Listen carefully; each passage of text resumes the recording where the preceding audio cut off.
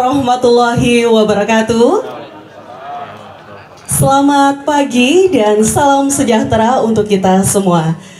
Bapak Ibu hadirin undangan yang kami hormati, perkenankan saya untuk menyapa terlebih dahulu tamu-tamu kita yang sangat luar biasa pada pagi hari ini. Gubernur Sulawesi Tenggara Bapak Haji Ali Mazi, Sarjana Hukum.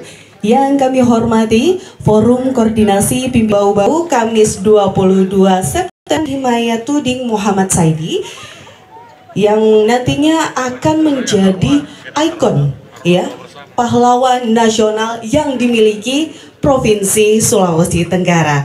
Dan pada pagi hari ini kita akan sama-sama menyaksikan groundbreaking pembangunan patung Oputayiko sebagai pahlawan nasional yang dimiliki oleh Sulawesi Tenggara. Dan untuk lebih jelasnya lagi, kita akan mulai dengan pemaparan terlebih dahulu oleh Kepala Dinas Cipta Karya Provinsi. Poin didesain berdasarkan konsep jejak sejarah yang ada dari patung Oputayiko yang mana beliau adalah salah satu pahlawan nasional kita yang sudah diakui yang ber, yang berjuang secara nasional melalui lebih banyak ke darat eh, ke lautan sehingga Bapak Gubernur telah menentukan patung Oputayiko yang dibangun di Kota Mara di atas air itu konsep kita spesifikasi teknis sendiri adalah kedalaman pondasi kita untuk patung Oputayiko ini rata-rata 22 meter di atas air dengan luas area yang kita butuhkan sekitar hampir satu hektar yang mana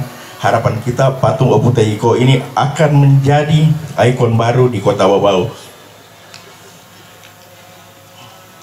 Di patung Oputayiko sendiri itu terdiri eh, mempunyai ketinggian 23 meter sebagai falsafah daripada eh, Oputayiko adalah Sultan ke-23. Di bawah patung Oputayiko akan dibangun dua lantai setinggi 9 meter. Lantai pertama berisi museum yang mana akan memperlihatkan diorama perjalanan perjuangan beliau dari zaman beliau berjuang sampai zaman kemerdekaan kita sehingga museum ini bisa dijadikan untuk uh, selain wisata edukasi juga akan menjadikan sebagai tempat penyebaran informasi perkembangan kemajuan Sulawesi Tenggara. Kota Babau sehingga akan lebih dikenal apa yang harus kita lakukan dan apa yang harus kita laksanakan ke depan. Di lantai dua ada ruang untuk pengelola yang nantinya akan mengelola patung Oputayiko ini sehingga bisa menjadikan destinasi wisata dan meningkatkan potensi-potensi ekonomi di sekitarnya. Sehingga harapan kami mudah-mudahan gedung yang sudah ada ini bisa menjadikan salah satu potensi wisata bagi kota Bau-Bau sehingga uh, akan menjadikan karakteristik kota, akan menjadikan estetika kota, akan menjadikan salah satu ciri khas kota Obau sendiri ini bukan hanya sebagai ikon, tapi juga sebagai ciri khas yang bisa diperlihatkan sehingga orang ke Obau tanpa melihat patung Oputayiko dianggap tidak sah. Itu harapan kami. Konsep lain dari Bapak Gubernur adalah uh, patung Oputayiko ini direncanakan akan dibangun selama dua tahap. Di tahap pertama ini kita uh, telah menggelontorkan anggaran dari APBD sebanyak 17 miliar. Di tahap kedua akan digelontorkan lagi hitungan kita ke sekitar 30 miliar lebih lagi.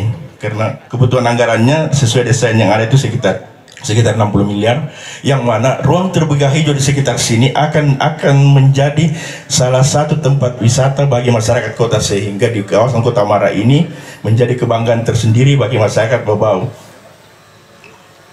Selain itu teknologi yang kita gunakan untuk uh, pe, pembangunan patung Kutai kita menggunakan alat alat pancang yang sudah berteknologi tinggi yang mana dia uh, ramah lingkungan. Kita menggunakan tongkang 180 feet, crawl crane kapasitas 40 ton, hammer diesel yang tidak terlalu bising sehingga tidak mengganggu aktivitas di sekitarnya. Juga kita menggunakan leader diameter 50 cm dengan panjang 24 cm.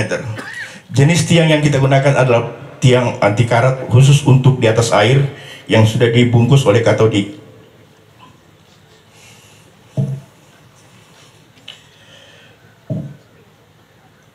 Hal lain lagi untuk patung Oputayiko ini bahwa pembangunan patung Oputayiko ini setelah digagas dua, dua periode yang paling penting di antara kita adalah bagaimana caranya patung Oputeiko ini bisa dipelihara sehingga bisa betul-betul berempat karena patung Oputeiko ini dibuat dari uh, perpaduan antara perunggu dan uh, tembaga sehingga kalau tidak dirawat dengan baik apabila insya Allah selesai nanti ini juga akan menjadikan PR buat kita semua bahwa sebagus apa pun yang kita buat apabila tidak dipelihara dengan baik itu akan menjadi satu persoalan lagi. Untuk itu,